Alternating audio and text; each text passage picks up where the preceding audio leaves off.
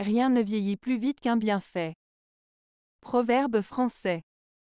Ce proverbe signifie que les bonnes actions et les bienfaits que nous offrons aux autres sont souvent oubliés ou négligés avec le temps.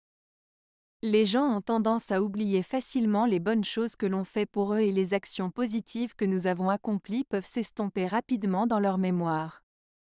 Par conséquent, il est important de ne pas attendre de la gratitude ou des remerciements, et de simplement faire de bonnes actions pour la satisfaction personnelle de faire le bien.